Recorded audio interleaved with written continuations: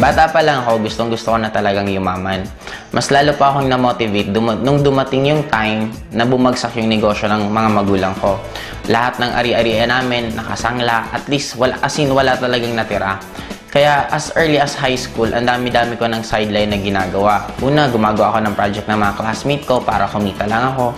Tapos nung mag-college naman ako, pati pagbaburn ng CD, lahat, kahit ano, dumating pa nga sa nagpapa 5-6 ako. Tapos pati pagpapasada ng jeep, ginawa ko. Namamasada ako nun paggabi naman. Um, as early as bata pa lang ako, naka-mindset na ako na dapat talaga yumaman ako ng todo. Kaya lahat ng pwede akong kumita, ginagrab ko as long as nakaya ng sarili kong gawin. Hindi ko siya pinag-iisipan, ginagrab ko lang ng ginagrab. Hanggang dumating sa akin tong AIM. Nung pagdating sa akin ng AIM Global, yun, hindi ko na siya pinag-isipan kasi sabi ko, magkano lang naman yung capital. Sabi ko, kung walang mangyari, di okay lang. Kung may mangyari, di mas maganda. Kaya lang, dumating nga sa point na lumalaki na yung grupo ko, binagsakan naman kami ng bagyong Milenyo. Tapos di sabi ko, sige, okay lang, pagsubok lang to. Nakapalaki uli namin yung grupo namin, kaya lang riming naman yung bumagsak. Kaya parang sabi namin, parang ayaw talaga tayong pakitain. Kasi nga, ang kalaban natin, kalamidad na, hindi na ibang tao or ibang company. Kaya lang, isa lang yung pumasok sa isip namin. Sabi namin, kung malalagpasan namin to, what more yung iba pang mga problema, mas madali na yon kasi ito na yung pinaka-worst. That was 2006 yung nagkaroon ng riming. Noong 2007, dun ko na halos ginibap din lahat. Birthday na birthday ko, nasa Lucena ako, nagpipresent ako. Basta ang dami kong ginawa na hindi ko, ni minsan hindi ko pa ginawa sa tanang buhay ko. Pero 2007, yun din yung time na nagkaroon ako ng first car ko. Yun din time na first time ko makapunta ng Hong Kong. Hanggang tuloy-tuloy na. 2008, yun, 2009, nakabila ako ng second car. Ngayon, kumikita na ako ng 7 figures a month. Kumbaga parang sabi ko, parang kailan lang.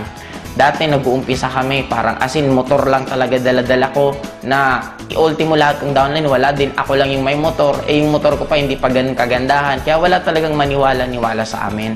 Pero ngayon, sobrang amazed na ako kasi lalo na dito sa lugar namin, kung mag invite kami ng tao, diretsuhan na talaga. Pag tinanong kami kung anong ginagawa namin, sinasabi namin networking. Tapos, ang good thing ngayon, meron na kaming sariling identity. And by next year din, bibili na ako ng sariling building na doon na namin ilalagay mismo yung opisina ng In Global. Kung mga first time in the history of networking dito sa lugar namin, ang dami namin kumitang tao na nagkaroon ng sasakyan and bibili din ako ng resort para susunod doon na kayo magkakandak ng training at yung mga grupo ko from other na place, pwede silang pumunta dito para maipasyal ko rin. Ang point ko kasi iba pala talaga pag kumikita ka ng pera. Darating sa point na halos hindi mo na sa'yo importante yung pera. Ang pinaka-importante na lang sa'yo is yung convenient ng buhay mo. Ngayon, imaginein mo guys, by next year, ang isa pa sa plano ko, bibili kami ng yate. Kasi meron ng parking dito sa amin. Sabi ko nga, talagang lakas ng attraction ko. Kasi inuna muna yung parking ko bago yung yate kong bibilhin. And I'm proud to be alive sa walang ibang numero unong networking company. Game Global ang power. Grabe. And third din po is bibiling ko this coming December is Hammer. Sobra po akong talagang naa-amaze kasi sobrang laki po ang halaga po niya sa, sa around 6.8 million. Isang sasakyan lang po.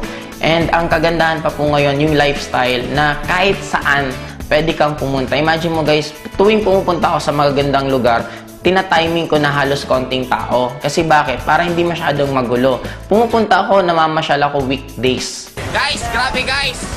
First time Asian Cross. Ang, ang pinakamasarap dito, lahat ng pwede mong ma-experience sa buong buhay mo, pwede mong ma-experience sa AIM Global in a span of a few years lang. Power. Woo! Katatapos lang namin magyate. Ngayon, di mo ba gagawin namin? Mag-jet ski kami. Yeah!